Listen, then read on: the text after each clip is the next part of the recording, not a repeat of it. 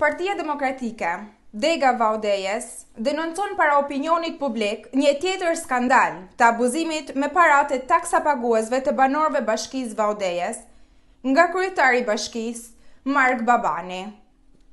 Përveç se erdhi si grabitës, në krye të kësaj bashkie, po shfrytëzon çdo mjet për të vjedhur paratë e taksapaguesve të bashkisë Vau Dejës. Vetëm në muajin mars dy mijë e njëzet e një, fondi i pagave për punonjësit nga taksat e banorëve të Bashkisë Vau Dejës shkon dyqind milionë lekë. Pa asnjë argument ligjor, Bashkia Vau Dejës ka rritur fondin e pagave për administratën gjatë muajve të fundit me nisjen e fushatës elektorale. Bashkia Vau Dejës paguan në muajin mars 2021 plot 377 punonjës, ndërkohë që kur uzurpuan bashkinë në muajin shtator 2019, administrata kishte 309 punonjës.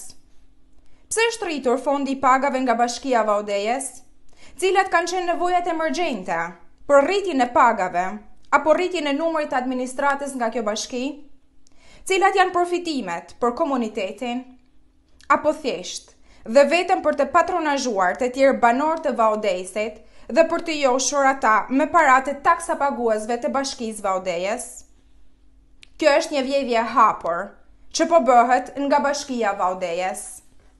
Ftojmë Prokurorinë e Shkodrës që të nisë sa më parë hetimet për këtë rast flagrant të përdorimit të parave publike për fushatën elektorale në shërbim të kandidatëve tashmë të veshur me pushtet, që po sorollaten çdo ditë përpara banorëve të Bashkisë Vau Dejës duke i shantazhuar, presuar dhe ofruar blerjen e votës. Partia Demokratike Dega Vau Dejës kërkon ndërhyrjen e KQZ për të ndalur këtë skandal të radhës me fondet publike të cilat tashmë janë zyrtarisht pjesë e fushatës elektorale.